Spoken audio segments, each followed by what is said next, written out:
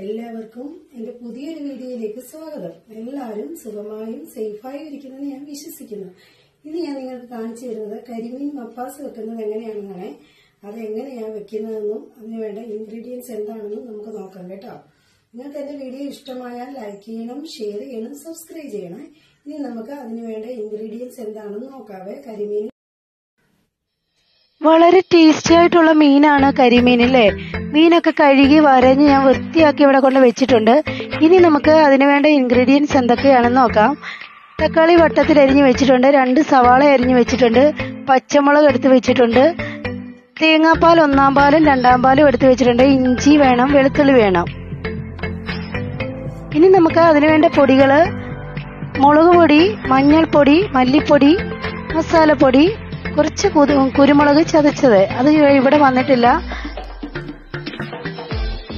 ഉപ്പ് വേണം. നമ്മുടെ കറിവേപ്പില വേണം. ഇനി നമുക്ക് ഈ മീന് വറുത്ത് വേണം അപ്പാസ് വെക്കാൻ. അതിനു വേണ്ടി നമുക്ക് മീനിലോട്ട് തേച്ച് പിടിപ്പിക്കാനായിട്ട് ഒന്നര ടീസ്പൂൺ കാശ്മീരി മുളക് പൊടി കാൽ ടീസ്പൂൺ മഞ്ഞൾപ്പൊടി ജിഞ്ചർ ഗാർലിക് പേസ്റ്റ് കുറച്ച് വിനീഗർ. ഇത് ഉപ്പും ഇട്ട് നല്ലവണ്ണം ഈ പൊടികളെല്ലാം നമുക്ക് കൈകൊണ്ട് നല്ലവണ്ണം മിക്സ് ചെയ്യാം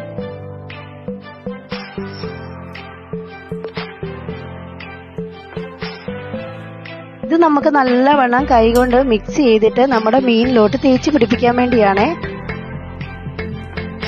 കണ്ടോ? ഇങ്ങനെ മിക്സ് ചെയ്തിട്ട് നമുക്കിനി ഓരോ മീനിലും തേച്ച് പിടിപ്പിച്ച് കൊടുക്കാം.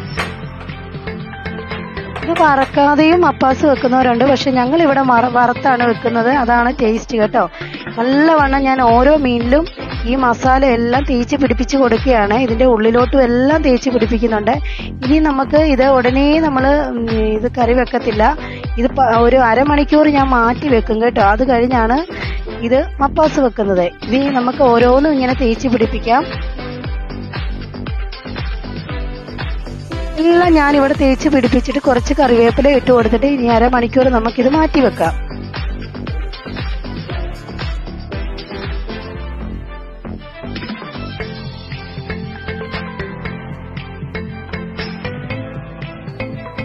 ഇനി നമുക്ക് ഒരു പാൻ അടുപ്പിൽ വെച്ച് കൊടുത്തിട്ട് കുറച്ച് വെളിച്ചെണ്ണ ഒഴിച്ചു കൊടുത്തിട്ട് ഇതൊന്ന് വറുത്തെടുക്കണം. അരമണിക്കൂർ കഴിഞ്ഞു.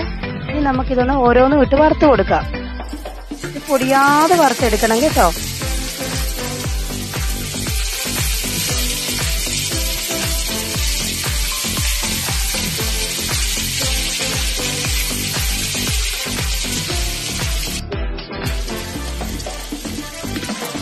ഞാൻ തിരിച്ചിട്ട് കൊടുക്കുകയാണ്. പൊടിയാതെ തിരിച്ചിട്ട് കൊടുക്കുകയാണ് ഓരോന്നും തിരിച്ച് തിരിച്ചിട്ട് കൊടുത്തിട്ട്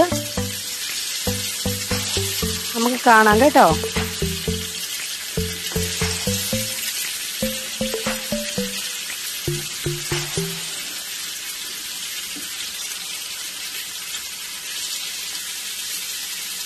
നമ്മളിതെല്ലാം നല്ല വണ്ണം ഇവിടെ വറുത്തെടുത്തിട്ടുണ്ട്. ഇനി ഇത് മാറ്റി വെച്ചിട്ട് നമുക്ക് ഇനി മപ്പാസ് വെക്കുന്നത് എങ്ങനെയാണെന്ന് നോക്കാം.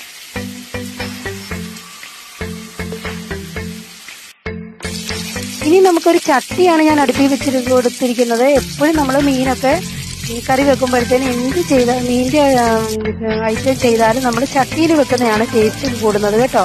ചട്ടിയിൽ ഞാൻ കുറച്ച് വെളിച്ചെണ്ണ ചൂടായപ്പോൾ ഒഴിച്ചു കൊടുത്തിട്ടുണ്ട്. ചട്ടി ഒന്ന് ചുറ്റിച്ചു കൊടുത്തിട്ടുണ്ട്. വെളിച്ചെണ്ണ എല്ലാ ഭാഗത്തോട്ടും എത്തിയിട്ടുണ്ട്. വെളിച്ചെണ്ണ ചൂടായ സമയത്ത് നമുക്ക് കുറച്ച് കറിവേപ്പില ഇട്ട് കൊടുക്കാമേ. നിങ്ങൾ വെളിച്ചെണ്ണയിൽ തന്നെ ഇതൊക്കെ വെക്കണം. അതാണ് ടേസ്റ്റ് കേട്ടോ.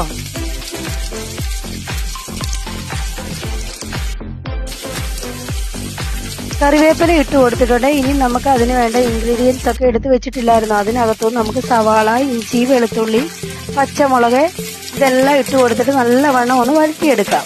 മീഡിയം ഫ്ലെയിമിൽ ഇട്ട് തന്നെയാണ് നമ്മൾ ഇതെല്ലാം വഴറ്റിയെടുക്കുന്നത്. കാരണം ഒരുപാട് അങ്ങ് ഫ്രൈ ഇതൊന്നും എന്തുവാണ് ഗോൾഡൻ ബ്രൗൺ കളർ കളർ വരെ വരെയൊന്നും വഴറ്റേണ്ട കാര്യമില്ല കേട്ടോ?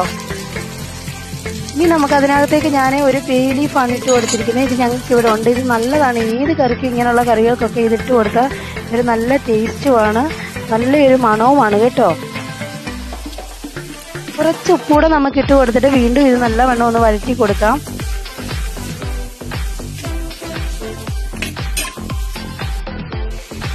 ഇതിലേക്ക് ഞാൻ വട്ടത്തിൽ എരിഞ്ഞു വെച്ചിരിക്കുന്ന തക്കാളിയും കൂടി ഇട്ട് കൊടുത്തിട്ടുണ്ട്.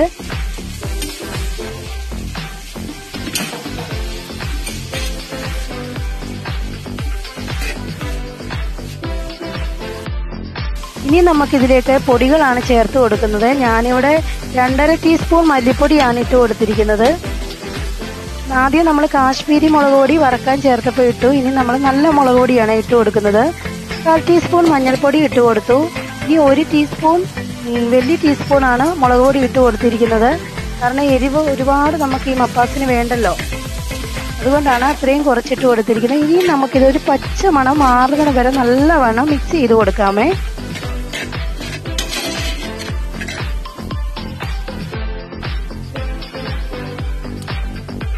ഇനി നമുക്ക് ഇതിനകത്തേക്ക് കുരുമുളക് ചതച്ചാണ് ഞാൻ ഇട്ട് കൊടുത്തിരിക്കുന്നത് കേട്ടോ.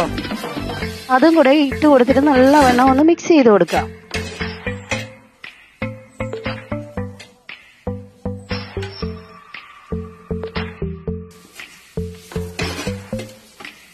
ഇനി നമ്മൾ ഒഴിച്ചു കൊടുക്കുന്ന രണ്ടാം പാലാണ് തേങ്ങയുടെ രണ്ടാം പാലാണ് ഒഴിച്ചു കൊടുത്തിരിക്കുന്നത്. കുറേശ്ശെയായിട്ട് ഒഴിച്ചിട്ട് കട്ടയില്ലാതെ ഇങ്ങനെ ഇളക്കി ഇളക്കി ഇളക്കി ഒഴിച്ചു കൊടുക്കണേ.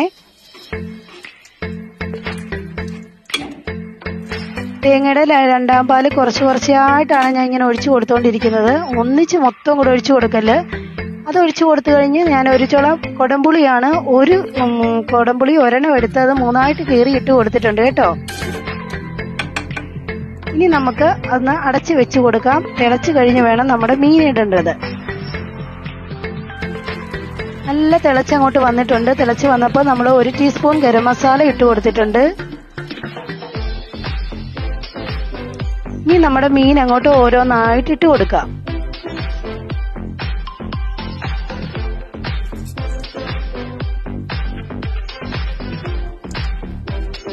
മീനെല്ലാം ഞാൻ ഇങ്ങനെ പിതുക്കി ഇട്ട് കൊടുക്കുകയാണ്. നമ്മുടെ മീനൊന്നും പൊടിച്ച് പൊടിഞ്ഞിട്ടില്ല കണ്ടോ? നല്ല സൂപ്പറായിട്ട് വന്നിട്ടുണ്ട്. അതെല്ലാം ഞാൻ അങ്ങോട്ട് ഇട്ട് കൊടുത്തിട്ട് അതിന്റെ പുറത്തോട്ട് നമ്മുടെ ഗ്രേവി ഒന്ന് തട്ടി കൊടുക്കണേ. ഞാൻ ഇതിന്റെ ഇടയ്ക്ക് എന്റെ ചട്ടി ഒന്ന് ചുറ്റിച്ചിട്ടുണ്ട്. അത് ഇതിനകത്ത് വന്നിട്ടില്ല കേട്ടോ. സോറി ആ ഗ്രേവി എല്ലാം അതിനകത്തോട്ടൊന്ന് തട്ടി കൊടുത്തിട്ട് നമ്മുടെ ഒന്നാം പാലാണ് ഈ ഒഴിച്ചു കൊടുക്കുന്നത്. ഒന്നാം പാൽ ഒഴിച്ചു കൊടുത്തു കഴിഞ്ഞാൽ നമ്മൾ ഒരുപാട് തിളപ്പിക്കരുത്. ഒഴിച്ചു കൊടുത്തിട്ടുണ്ട്. ഇനി നമ്മളൊന്ന് ചെറുതായിട്ട് സ്പൂണും കൊണ്ട് അങ്ങോട്ടും ഇങ്ങോട്ടും ഒക്കെ ഒന്ന് മീൻ പൊടിഞ്ഞു പോകാതെ ഒന്ന് തട്ടി കൊടുക്കണം കേട്ടോ.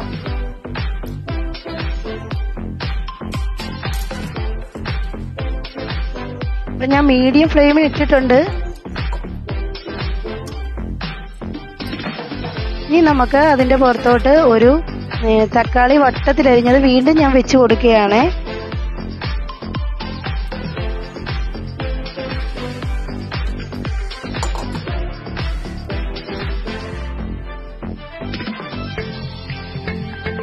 കറിവേപ്പിലയും കൂടി ഇട്ട് കൊടുത്തു കഴിഞ്ഞിട്ട് വീണ്ടും നമുക്ക് അടച്ചു കൊടുക്കാം.